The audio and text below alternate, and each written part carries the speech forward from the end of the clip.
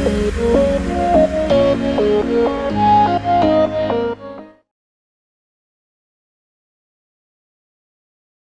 everyone, it's Christy here from Headspace Morwell. My role at Headspace Morwell is that I am currently acting as one of the clinical leads here um, and also work in the community engagement part of Headspace.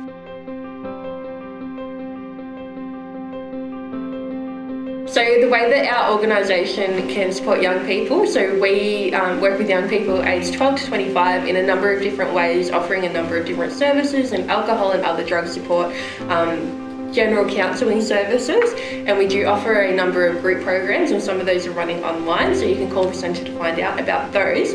Um, but in regards to our mental health support we do offer one-on-one counselling, um, telehealth as well as in person at the moment to help with a number of things that you might be experiencing um, that may be impacting your mental health.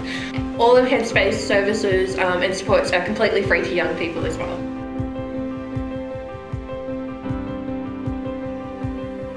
The way that young people can access our services is through um, just giving us a call or popping into the centre um, and just letting us know what type of supports that you're after. You don't have to be referred by anybody else, but that is also an option.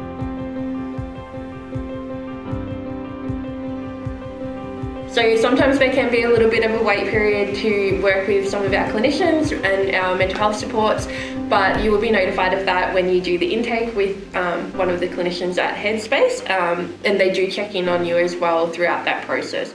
We also offer um, eHeadspace, which is an online service that you're able to access on the Headspace website.